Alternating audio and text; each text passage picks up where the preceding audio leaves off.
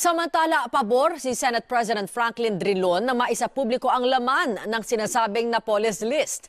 Sa panayam sa programang Head Start ng ANC, sinabi ni Drilon na bago maibulgar ang listahan ay dapat na raw na mabigyan muna ang DOJ ng sapat na panahon para ma-validate ito.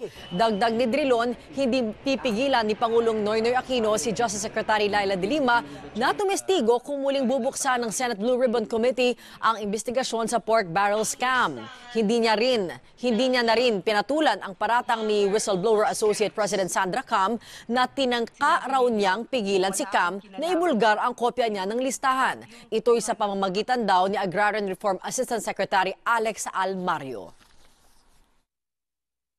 Any other resource person can be uh, subpoenaed, but we give due respect to the Secretary of Justice. She has asked for time to validate the list. So that is where it stands. I don't want to waste my time on Sandra Cam. All that I'll say is that I don't even know who Almario is.